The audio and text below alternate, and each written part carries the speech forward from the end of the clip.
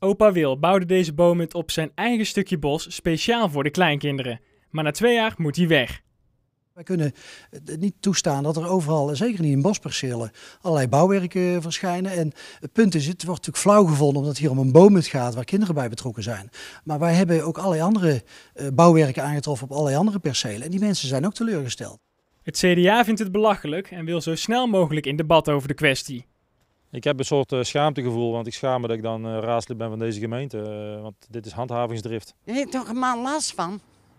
Kom op. zijn er erge dingen hoor.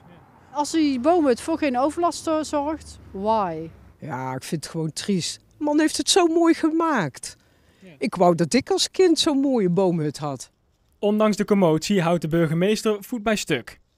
Lijkt me vooral dat, uh, dat opa hier misschien zou moeten uitleggen waarom hij er toch voor gekozen heeft om dit te bouwen, terwijl hij eigenlijk weet dat het niet kan. 5 maart moet hij dan echt weg zijn. De familie blijft hopen op een klein wonder.